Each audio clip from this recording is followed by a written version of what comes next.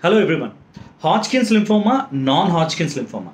There are many doubts related to these two types of cancers among the students. I will explain the major differences between these two type of cancers and I will explain the treatment also. Now, lymphoma, the word indicates oma means cancerous mass. Lymph means it is affecting lymphocytes. Now, majorly we have two lymphocytes are there, B lymphocytes, T lymphocytes. B lymphocytes give rise to antibodies. T lymphocytes, there are many cells are there. CD4 helper cells, CD8 cytotoxic cells, suppressor cells, and memory cells likewise. So the cancer which is affecting lymphocytes is known as lymphoma. Now Hodgkin's is a scientist name. His name is Thomas Hodgkin. On his name, these cancer cells are known as Hodgkin's lymphoma.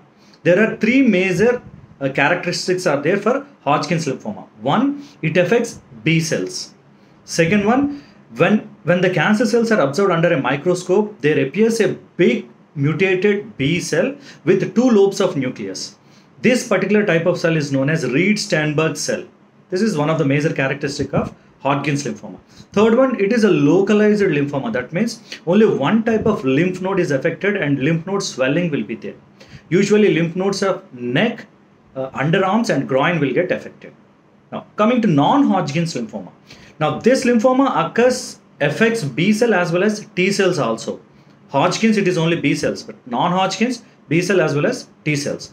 Now in this type of cancer you don't see Reed-Sternberg cell. That cell will not be there. Third one, it, it affects multiple types of lymph nodes. So these are all the major differences. What is the treatment? Now, non-Hodgkin lymphoma can be treated by a combination of chemotherapeutic drugs. They are known as CHOP, C-H-O-P. C stands for cyclophosphamide, an alkylating agent which disrupts DNA. H stands for hydroxydaunorubicin. Hydroxydaunorubicin is nothing but doxorubicin. H. O stands for Oncovin. Oncovin is a brand name for vincristine. P stands for prednisone, a steroid immunosuppressant agent. So CHOP. You have an alkylating called cyclophosphamide, hydroxydaunorubicin, a DNA intercalating agent, vincristine, a plant product which disrupts mitotic spindle, prednisone immunosuppressant agent.